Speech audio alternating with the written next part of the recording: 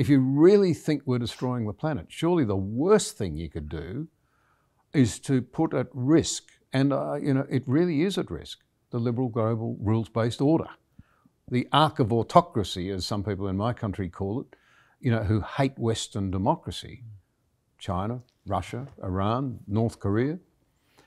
They don't care about climate change. They don't care about woke either. They don't care about climate change. They don't care about any of this stuff. Isn't that the second danger that these purportedly highly intelligent people are missing? It's very ironic because these remember these people are not empirical. They're ideologues. So once they get I think everybody knew that Stalinism had failed by 1935 or 36, earlier during the Great Famine. It didn't matter. He didn't change. National Socialism, Mao failed, but the ideologue does not care. We saw that with the Virginia pushback against the left. They didn't care. They doubled down on critical race theory. So in Germany, as we're talking right now, they're going to be burning wood, which is the most polluting of all fuels this winter to survive. We in California have no forest management because we felt that it was uh, empowering timber companies. You know, very careful, cons conservative uh, trimming of dead trees and, and logging. So what do we do? We have these huge fires, these biblical fires, and they put more uh, fossil fuel emissions into the air than cars do, but they don't care because it's ideologically correct to have a particular forest management problem.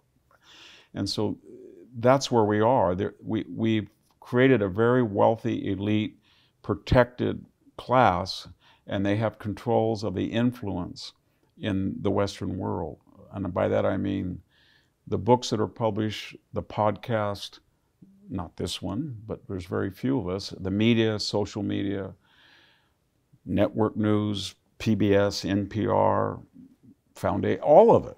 And they have a, a, huge megaphone and they have the money, the wealth. If you look at the Fortune 400, these are not ancient fortunes based on manufacturing or assembly or oil or mining or gas or transportation. They're finance, investment, insurance, high tech, bio media. And they're very left wing people. They have a global market, they're very wealthy, they're ideological, and they have an agenda that they feel is good for us. This is their religion. As atheists and agnostics, they feel we're going to convert these people. We don't want to do it by the sword if we have if we can avoid it.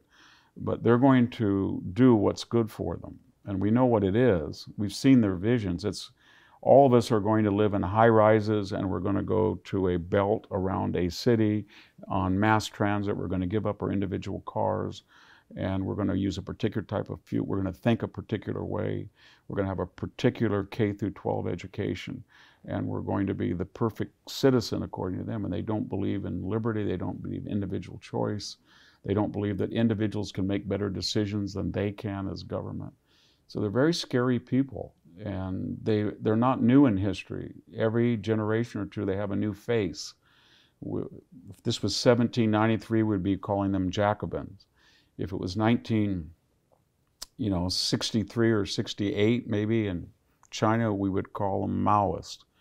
And uh, if we called in, and uh, after 1940s, five to 50 in the United States, we'd call them sympathizers with socialism or communism. So I don't know how we defeat them other than the way we've always defeated them. And that is we, a few people call them out and say it doesn't work and we're going to oppose you.